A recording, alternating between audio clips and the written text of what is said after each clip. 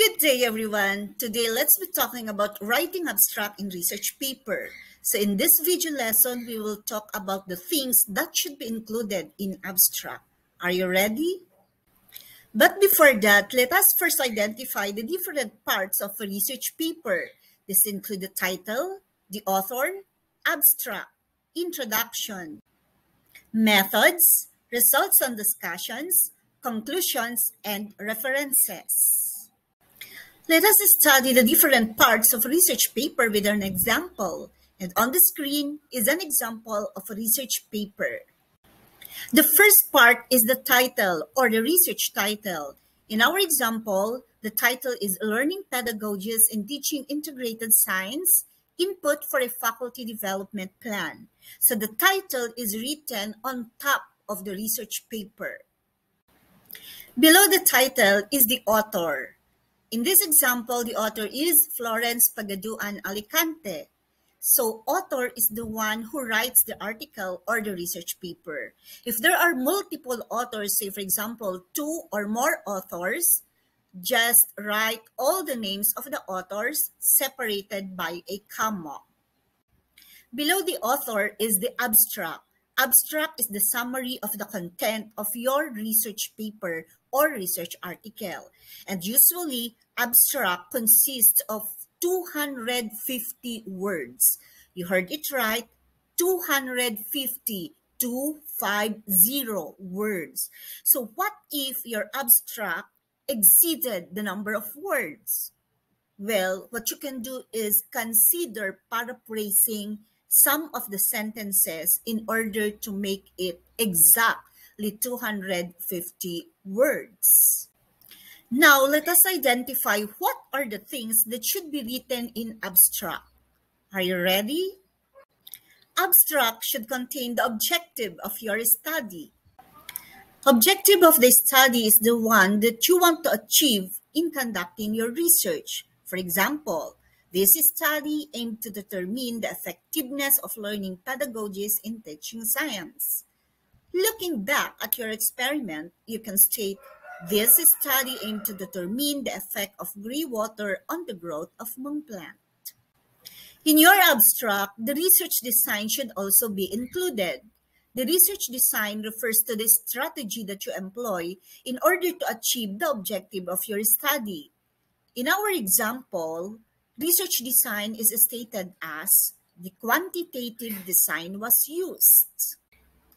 Aside from the objective, research design, methods should also be included in your abstract. So methods refers to the techniques in collecting data. Common methods include surveys, experiments, interviews, and observations. So you may also describe the sample and the sampling technique.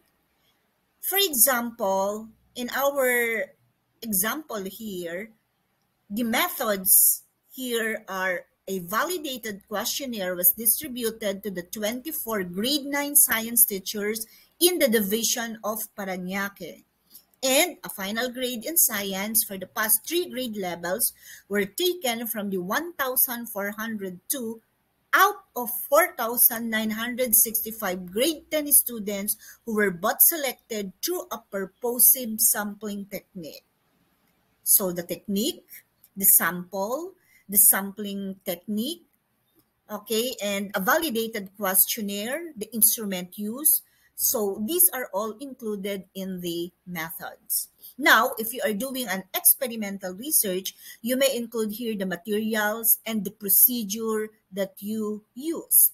So you can also describe here the setups. Say, for example, you use control and experimental groups, then you explain here how did you do your experiment with the control and the experimental group. Also included in the abstract are the findings of your research study. So discuss in this part the summary of the findings of your study as well as the treatment or the statistical analysis that you employ. So in our example, the findings and statistical analysis are highlighted with color yellow. So it states here Majority of the respondents were young in the teaching profession for 6 to 10 years now and have attended 1 to 5 seminars or training.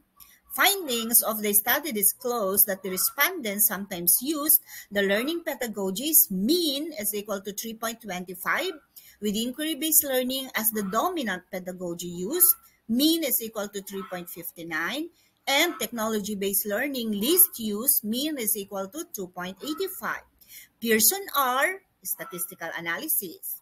I repeat, Pearson R showed that these learning pedagogies were moderately effective on students' academic performance. Mean is equal to 81.33 with technology-based learning as the most effective.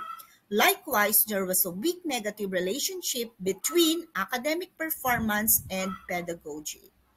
Now, looking back again to your experiment, you can discuss here the average mean, the mean of the height of your control and experimental groups.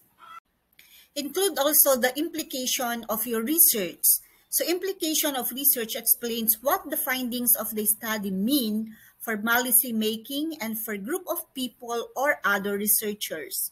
So in our example here, so based on the findings of the study, a faculty development plan was proposed. Finally, include the keywords. Keywords are important words of discovering what search terms your target audience is entering in search engines. So in our example here, keywords include academic performance, pedagogy, science, students, and teachers.